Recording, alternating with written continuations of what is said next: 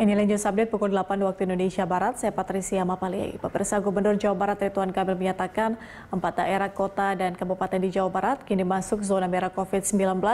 Keempat daerah itu berdekatan dengan Jakarta. Empat daerah yang zona merah di Jawa Barat adalah Kota Bogor, Depok, Kabupaten Bekasi, dan Cimahi. Keempat daerah berada di daerah penyangga Jakarta yang merupakan epicentrum COVID-19 dan berpotensi menyebabkan terjadinya impor case dari Jakarta.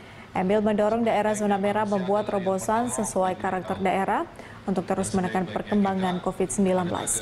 Meski demikian, Pemprov Jawa Barat menjamin tingkat ketersediaan rumah sakit di mana okupansi baru mencapai 40 persen.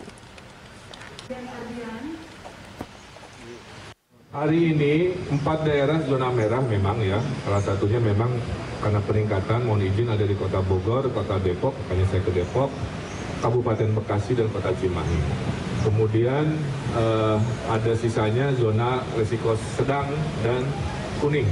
Nah selama enam bulan memang muter-muter kan, hampir 60 persen adanya di Bodebek. Kan tantangan Pak Bima ini luar biasa. Sehingga perlu inovasi-inovasi yang uh, kuat.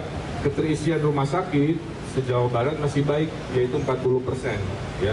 Belum sampai 60, belum sampai 80. Walaupun di dalamnya ada yang tinggi, ada yang rendah, tapi kalau di rata-rata di angka 40 persen.